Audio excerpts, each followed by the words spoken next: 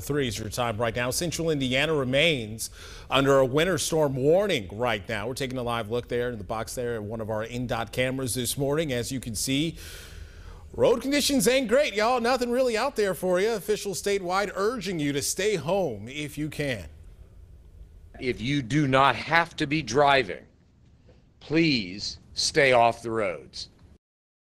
That there. All Indiana counties are under either a travel warning, watch, or advisory right now, which means travel conditions are dangerous. Yes.